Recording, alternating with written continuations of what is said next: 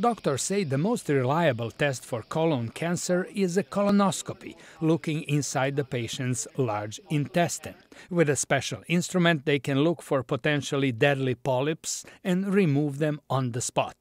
But University of Miami oncologist Ike Akunyili says the procedure is not a popular one. You have to put something through somebody's behind, and a lot of people don't like it. That is why many patients opt for the less invasive fecal occult blood test, which can be done at home but is less reliable. It cannot detect polyps and even misses some cancers. But a new way to test stool samples called Cologuard claims to be 92% accurate in identifying colorectal cancer. Akunyili says this is especially good news for patients who avoid colonoscopies.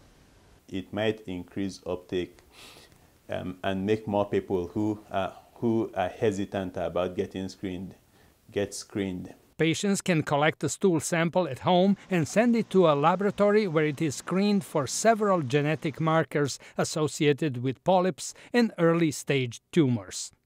Mayo Clinic gastroenterologist David Ahlquist says the new test may lead to fewer colorectal cancer cases, just as the pap smear test lowered the number of cervical cancer cases. There's no reason why application of Cologuard broadly through our population couldn't achieve the same thing for colon cancer. Our goal is to eradicate colon cancer.